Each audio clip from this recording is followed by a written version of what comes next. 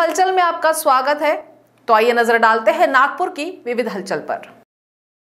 राष्ट्रवादी Congress party के प्रदेशाध्यक्ष एवं राज्य के जल संपदा मंत्री जयंत पाटिल के जन्मदिन के अवसर पर सांसद सुप्रिया सुले की सूचना के अनुसार एवं राष्ट्रवादी युवती कांग्रेस के प्रदेशाध्यक्ष सक्षना सलगर के मार्गदर्शन में राष्ट्रवादी जीवलक उपक्रम के अंतर्गत कोविड 19 महामारी से अनाथ हुए बालिकाओं में नए कपड़ों का वितरण किया जाएगा।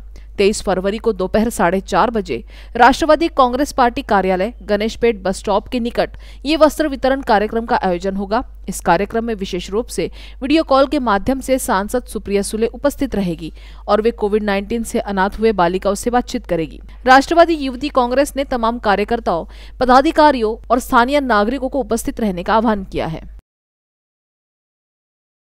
प्रभाग तीस ईडब्ल्यूएस क्वार्टर सद्भावना नगर में महापौर दयाशंकर तिवारी व उप महापौर की मौजूदगी में आयोजित एक भव्य समारोह में विभिन्न सामाजिक संस्थाओं से जुड़ी समाज सेविका राजश्री मांडलकर ने अपने 200 से भी अधिक कार्यकर्ताओं के साथ भारतीय जनता पार्टी में प्रवेश लिया। महापौर दयाशंकर तिवारी एवं उप महापौर मनीषा धावड़े के हस्ते सभी कार्यकर्ताओं का भाजपा का दुपट्टा पहनाकर स्वागत किया गया। इस मौके पर महापौर व उप महापौर के हस्ते मांडलकर के जनसंपर्क कार्यालय का फीता काटकर भी उद्घाटन किया गया। प्रमुख अतिथि के तौर पर उपस्थित महापौर दयाशंकर तिवारी ने भाजपा में प्रवेश लेने वाले सभी कार्यकर्ताओं से कहा कि वे एक ऐसी पार्टी में प्रवेश कर रहे हैं जो राष्ट्रीयता से ओतप्रोत है। आप सभी भाजपा की राष्ट्रीय विचारधारा को घर घर तक पहुँचाए। उन्होंने आगे कहा कि मेरे चौदह माह के संक्षिप्त कार्यकाल में अनेक जनहितैषी कार्य किए गए। शिक्षा, खेल, स्वास्थ्य के क्षेत्र में कई महत्वपूर्ण कार्य हमने किए। नागपुर महानगर क्षेत्र के सभी विधानसभा क्षेत्रों में आकांक्षा संस्था के माध्यम से मनपा के इंग्लिश मीडियम के स्कूल खोले गए। इन स्कूलों में आज 16,000 विद्यार्थियों को बाईजूस ऐप के माध्यम से निशुल्क ऑनलाइन शिक्षा दी जा रही है। पूर्व नागपुर विधानसभा क्षेत्र के कलमना रेलवे स्टेशन में लोहे की सलाखें एवं लोहे की प्लेट से भरी बड़ी गाड़ियाँ रोज आती जाती रहती है और वहाँ लोडिंग अनलोडिंग की प्रक्रिया जारी रहती है। कलमना रेलवे ने स्टेशन में उन ट्रैकों के आने जाने के लिए अलग से रास्ता बनाया हुआ है, लेकिन वे गाड़ियाँ उस रास्ते से नहीं आती। उस रास्ते के बजाय वह गाड़ियाँ चिखली बस्ती से आना जाना करती है, जो कि उनको शॉर्टकट पड़ता है, जिससे वहाँ के स्थानीय नागरिकों को काफ़ी दिक्कतों का सामना करना पड़ता है। आवाजाही के दौरान पास से गुजरते हुए लोहे के वस्तुओं से भरे ट्रक और वाहन खतरनाक साबित हो सकते हैं। प्रभाग 24 के नगर सेवक प्रदीप पोहाने के नेतृत्व में स्थानीय नागरिकों ने लोहे की वस्तुओं से भरी गाड़ियाँ, बस्ती से ना जाकर रेलवे द्वारा बनाए हुए रास्ते से जाने की मांग को लेकर ठिया आंदोलन किया। कलमना पुलिस स्टेशन के पीआई विनोद पाटिल ने स्थिति का जायजा लेते हुए सभी नागरिकों से इस पर पुलिस एवं प्रशासन की ओर से उचित कार्रवाई करने का आश्वासन दिया। आंदोलन में प्रदीप पोहाने के साथ साथ शशिकला ढोके, उषा कोरे वीना चौधरी आदि उपस्थित थे। अमृतवेला ट्रस्ट के रिंकू महाराज गुरप्रीत सिंह की प्रेरणा से गुरु दरबार कुशीनगर जरीपटका में 40 दिन का सुखमणी साहिब एवं जपूजी साहिब का पाठ निरंतर किया जा रहा है। कोरोना महामारी की समाप्ति की अरदास के साथ साथ सुखमणी साहिब का पाठ 40 दिन तक लगातार चलने वाला है। नित्य साध संगत आकर सुखमणि साहिब और जपूजी साहिब की सेवा का लाभ प्राप्त कर रहे हैं। अर्जुन जग्यासी, हितेश चांदवानी, संजय फुलवानी रमेश लाल दुधानी, राजकुमार सोनी, फुलचंद आहूजा और साध संगत का सहयोग प्राप्त हो रहा है। महामारी की वजह से संगत घरों में ही पूजन कर रही है। महात्मा गांधी अंतर्राष्ट्रीय हिंदी विश्वविद्यालय में अंतर्राष्ट्रीय मातृभाषा दिवस पर आयोजित मातृभाषा महोत्सव में विश्वविद्यालय के प्रतिकुलपति प्रोफेसर हनुमान प्रसाद शुक्ल ने कहा कि सभी मातृभाषाओं में समान क्षमता होती है। सभी ने अपनी अपनी मातृभाषा का गौरव बढ़ाना चाहिए। विश्वविद्यालय के कुलपति प्रोफेसर रजनीश कुमार शुक्ल की प्रमुख उपस्थिति में विश्वविद्यालय के डॉक्टर श्यामा प्रसाद मुखर्जी अकेडमिक भवन के कस्तूरबा सभागार में अंतर्राष्ट्रीय मातृभाषा दिवस कार्यक्रम का आयोजन किया गया। इस अवसर पर प्रोफेसर हनुमान प्रसाद शुक्ल अध्यक्षीय उद्बोधन दे रहे थे। उन्होंने कहा कि राष्ट्रीय शिक्षा नीति में मातृभाषा में शिक्षा प्रदान करने का संकल्प व्यक्त किया गया है। हमने स्कूली शिक्षा से उच्च शिक्षा तक अपनी अपनी मातृभाषा में शिक्षा प्राप्त करते हुए मातृभाषा का गौरव बढ़ाना चाहिए और सभी मातृभाषाओं को कंधे से कंधा मिलाकर चलना चाहिए। इस अवसर पर प्रोफेसर शुक्ल ने धरती हमारी कविता का पाठ भी किया ऑनलाइन तथा ऑफलाइन माध्यम से आयोजित कार्यक्रम के दौरान शोधार्थियों और विद्यार्थियों ने अपनी अपनी मातृभाषाओं में कविताएँ तथा वक्तव्य प्रस्तुत किए। नवनीत कुमार, दीप्ति कुशवाहा, अलमा शेख आदि छात्राओं ने हिंदी संस्कृत, मराठी, भोजपुरी, बांग्ला, मैथिली, अवधि, असमिया, ओडिया, बुंदेली, राजस्थानी आदि मातृभाषाओं में वक्तव्य तथा कविताएँ प्रस्तुत की। बेटी बचाओ, बेटी पढ़ाओ अभियान के अंतर्गत भारतीय जनता पार्टी द्वारा 20 फरवरी तक वक्तृत्व स्पर्धा का आयोजन किया गया था। जनता से मिल रहे भारी प्रतिसाद को देखते हुए स्पर्धा की अंतिम तारीख 28 फरवरी तक बढ़ा दी गई है। इस स्पर्धा में 16 से 25 वर्ष आयु वर्ग के सभी युवक युवतियाँ भाग ले सकेंगे। महाराष्ट्र में प्रथम पुरस्कार इक्कीस द्वितीय पुरस्कार ग्यारह तृतीय पुरस्कार सात हज़ार दिया जाएगा। नागपुर ज़िले में भी प्रथम, द्वितीय, तृतीय पुरस्कार दिए जाएँगे। भाजपा प्रदेश अध्यक्ष चंद्रकांत पाटिल एवं पूर्व मुख्यमंत्री, विरोधी पक्ष नेता देवेंद्र फडणवीस शहर अध्यक्ष प्रवीण दटके के मार्गदर्शन में, एवं प्रदेश संयोजिका शुभा पाध्य के नेतृत्व में, पूर्वी विदर्भ के संयोजक संतोष दीपक लड्ढा द्वारा बड़े पैमाने पर स्कूल, महाविद्यालय, सामाजिक संस्थाओं के सहयोग से इस प्रतियोगिता का आयोजन किया जा रहा है। मराठी, अंग्रेज़ी, हिंदी जो भी भाषा में उम्मीदवार का प्रभुत्व हो, उस भाषा में उम्मीदवार को तीन से पाँच मिनट का वीडियो बनाकर साइट पर अपलोड करना है। इस विषय के प्रकार है, एक आज की पीढ़ी तंत्र स्नेही पीढ़ी। दो, विचार मंथन, शादी की उम्र 21 साल। तीन, सृजन करती मैं, फिर भी असुरक्षित मैं। चार, भारतीय नारी, आत्मनिर्भर नारी। पाँच, बेटी देश की शान, हर घर का सम्मान। इस प्रकार है। राम की बंडी हैदराबाद में पिछले कई वर्षों से साउथ इंडियन फ़ूड का जाना माना ब्रांड है। उनके कई आउटलेट हैदराबाद में हैं, जो कि अपने कुरकुरे डोसे के लिए मशहूर है।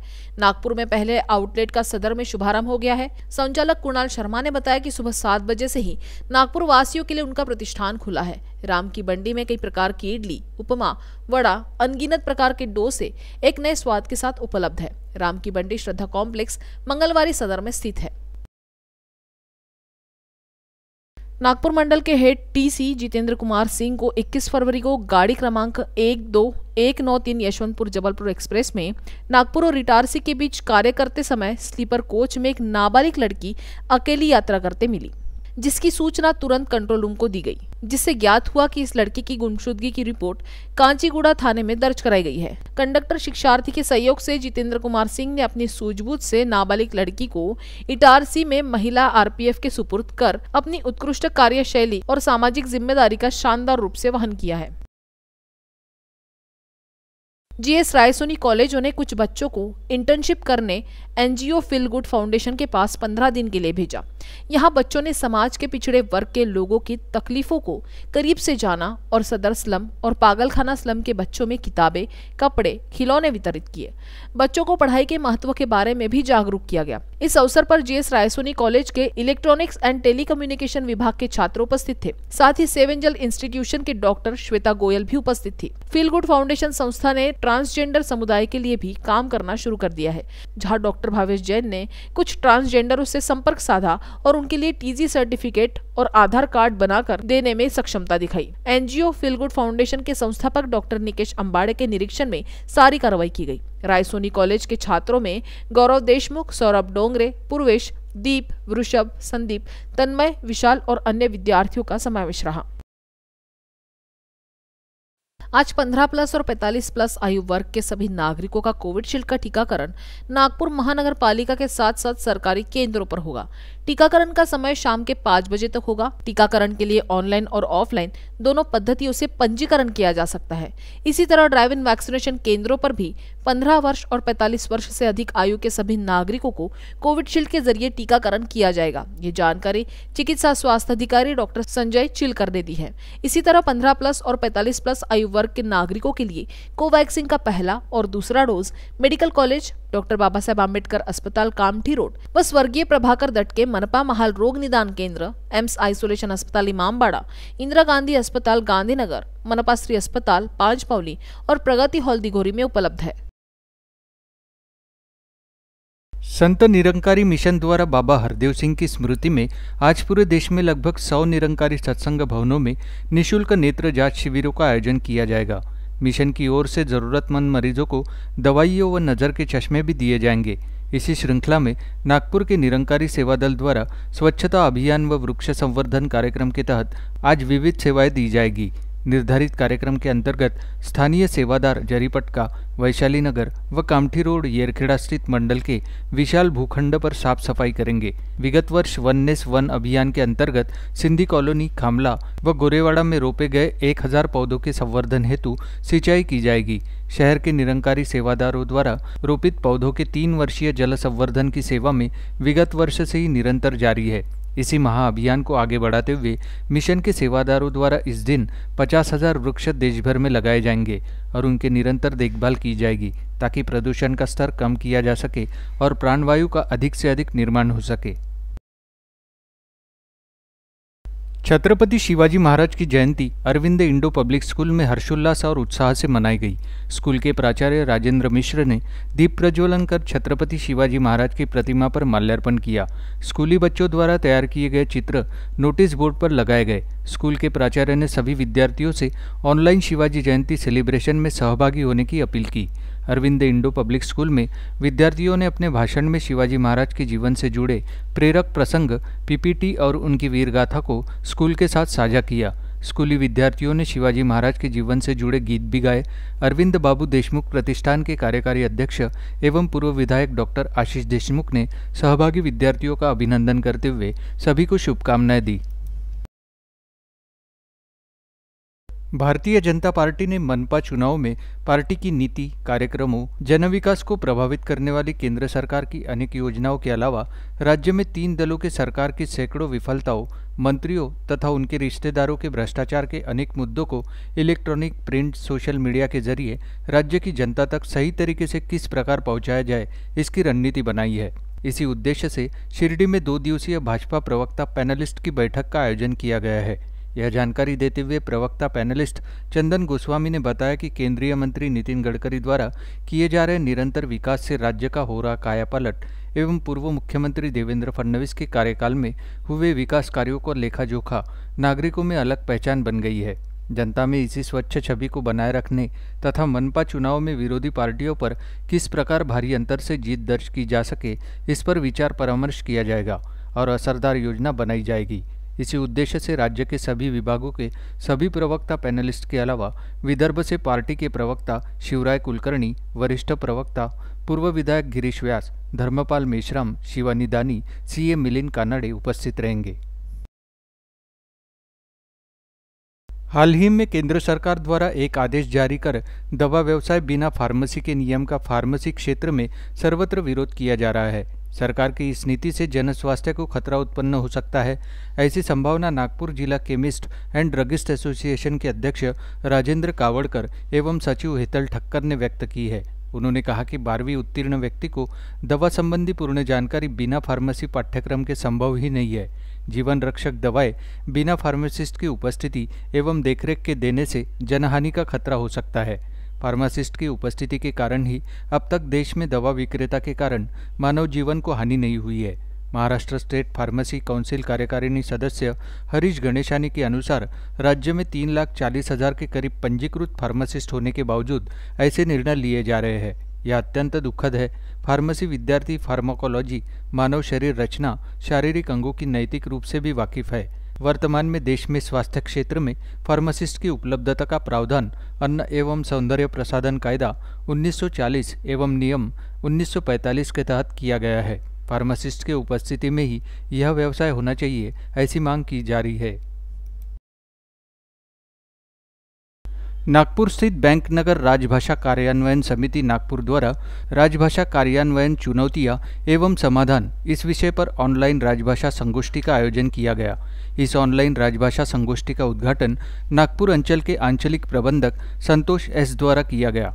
इस संगोष्ठी में बैंक नगर राजभाषा कार्यान्वयन समिति, नागपुर के सदस्य, तमाम कार्यालयों के कार्यालय प्रमुख एवं उनके राजभाषा अधिकारी ऑनलाइन माध्यम से जुड़े।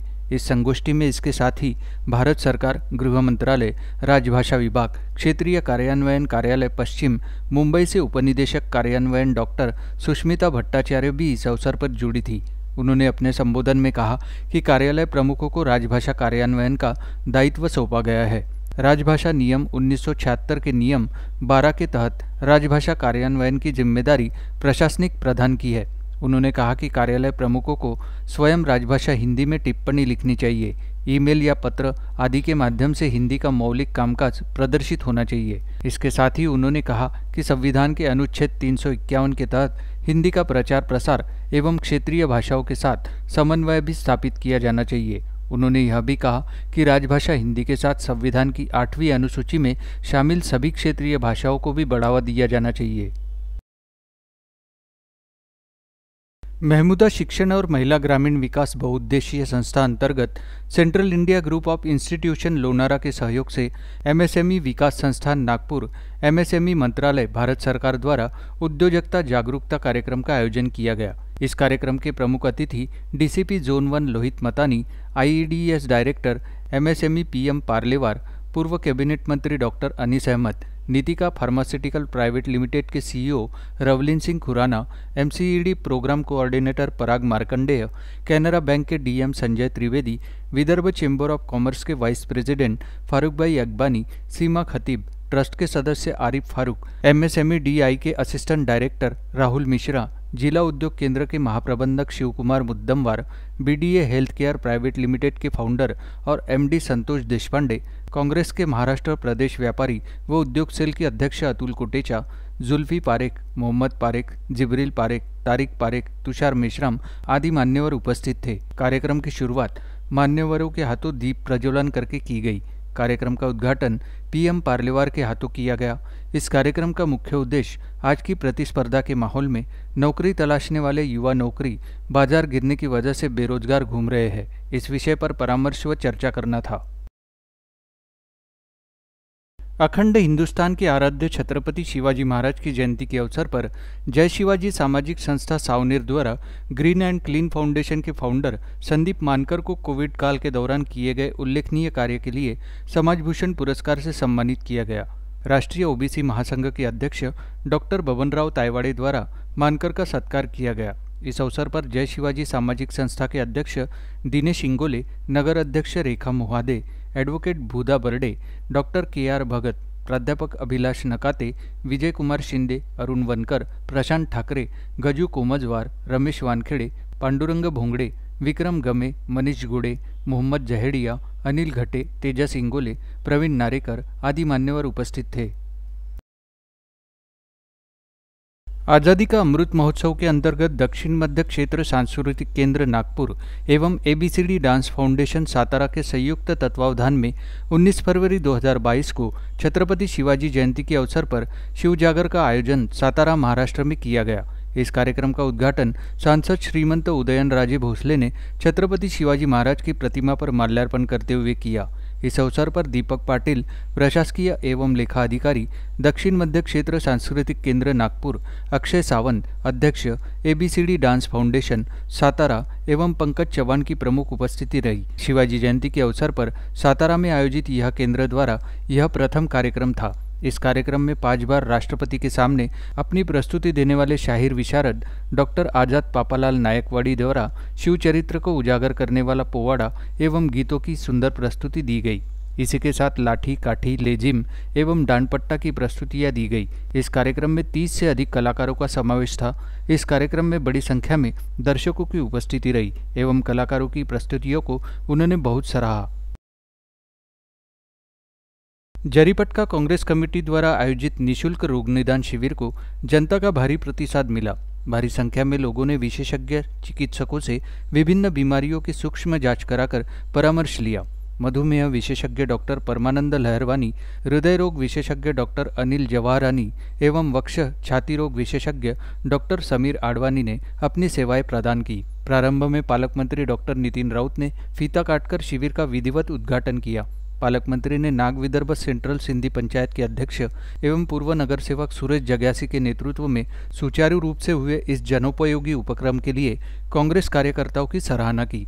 शिविर को doctor Winky रुगवानी doctor Bhupendra Asudani doctor Harish Gidwani doctor Harish उदासी doctor Sanjay Panjwani doctor Hitesh जग्यासी doctor Mehul Advani doctor Naresh Gurbani doctor Sumit जग्यासी doctor गुरमुख ममतानी ने सदिच्छा भेंट दी। मुख्य कार्यकर्ताओं में से अशोक आहूजा, राजू सावलानी, हरीश चौधरी, प्रदीप मोतीरामानी, सुरेश असरानी, कमलेश धनवानी, जलज ज्ञानचंदानी, मुकेश खुशालानी, मोहित सचदेवा आदि ने सक्रिय योगदान दिया। इस अवसर पर कलगीधर सत्संग मंडल के एडवोकेट माधवदास ममतानी, कांग्रेस सेवा दल के प्रमुख कृष्ण कुमार पांडे, केशवदास वाधवानी, कुंदनदास गिदवानी प्रकाश कल्याणी, भावना लोनारे संतोष लोनारे प्रमुखता से उपस्थित थे। ट्रैफ़िक पुलिस ने मोटर वाहन अधिनियम के विभिन्न धाराओं के अंतर्गत कुल मिलाकर तीन हज़ार सत्तर वाहन चालकों पर कार्रवाई की और उनसे कुल मिलाकर दो लाख बारह हज़ार रुपये का जुर्माना वसूला। इसी तरह मुंबई शराबबंदी अधिनियम के अंतर्गत दो मामलों में दो आरोपियों की गिरफ़्तार किया गया और उनसे सोलह सौ रुपये का सामान जब्त किया गया है। इसके अलावा जुआ अधिनियम के अंतर्गत पाँच मामलों में बारह आरोपियों को गिरफ़्तार किया गया और उनसे अट्ठारह सौ रुपये का जुर्माना वसूला गया। उपरोक्त सभी ऑपरेशन संयुक्त रूप से नागपुर सिटी पुलिस द्वारा किए गए थे। ट्रैफ़िक विभाग ने यह आह्वान किया है कि नागरिक वाहन चलाते समय वाहन से संबंधित सभी दस्तावेज़ अपने पास रखें। तो नागपुर हलचल में आज इतना ही। आपसे कल फिर मुलाकात होगी। तब तक देखते रहिए वीके न्यूज़ नमस्कार।